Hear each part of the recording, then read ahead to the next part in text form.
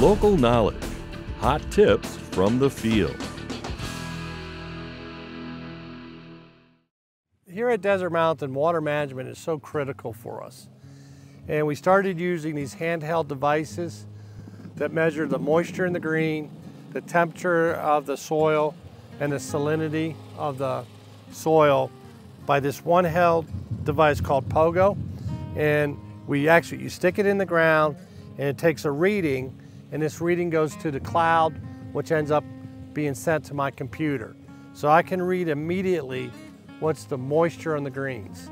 Uh, Kyle here will walk around. We take about nine readings per, on the greens and we collaborate to make sure that we're consistent.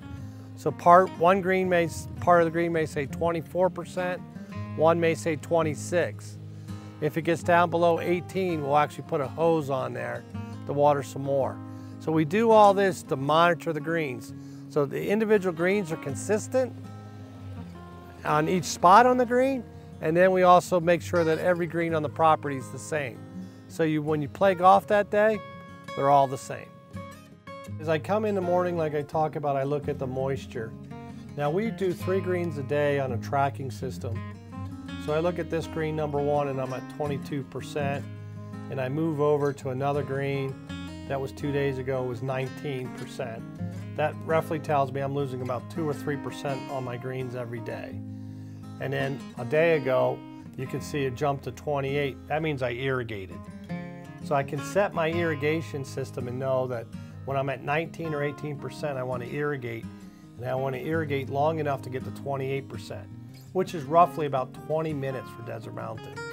We found out for every two minutes of water on a green, I changed the percentage by one point. So now we target irrigate and go through that, and then we start the process over again. I have graphs that tell me the trend that I'm at. One of the other ones is the firmness. You know, the pros, everybody talks like, what's the first thing you hear? Firm and fast, you know?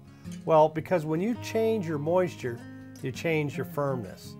And those are one of the settings that we also do, again, by Bluetooth. And found out three days ago our firmness when we were at 19% was at 0.29. Well, I found out the greens were healthy for the grass, but they were unhealthy for the membership. And what do I mean by that? Well, they were too firm. The ball would hit, they would bounce, and they'd go over the green. So I want to have a ladies' day. I'll soften the greens out by watering them a little more. If I have a club championship, I can firm them up. So I can go from tournament conditions to member conditions anytime I want by collecting all this information. Um, and since I'm at Desert Mountain, I have a bigger issues. I want to compare all 108 greens at one time.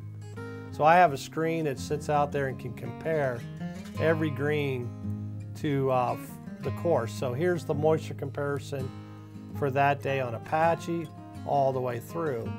And I found out, hey, that's the day we watered Cochise, and then Outlaw got watered the same day, and I can compare it. So I can compare every green on an every day.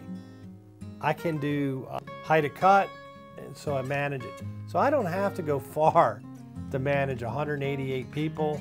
It's sitting right here at the screen and I can make decisions to where to spend my time at. You know, one of the things I have to do is I have to manage the expectations of the agronomy with the finances of the club. And to do that, by having this all in one platform, I can, I can really do that. And that's my goal is to why use more resources when I don't have to? And the best way to manage that is by tracking it. And, I, and that's kind of the, the goal that I've set up here. And I got to compare all the golf courses together. There's six of them here at Desert Mountain.